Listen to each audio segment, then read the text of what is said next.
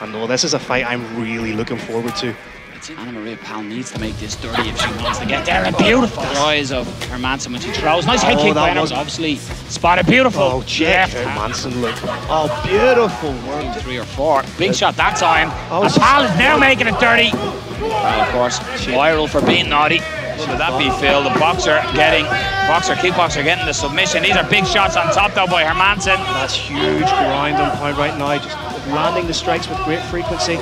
Not Pal just trying to sit up into her Phil, but gotta watch the back of the head. Referee just warning Hermansson. Gets out the back door, but Hermansson slams a shot at it. Choke is in with no hooks, but that looks all right. this The is up. boxer gets it. The boxer, kickboxer gets the submission finish.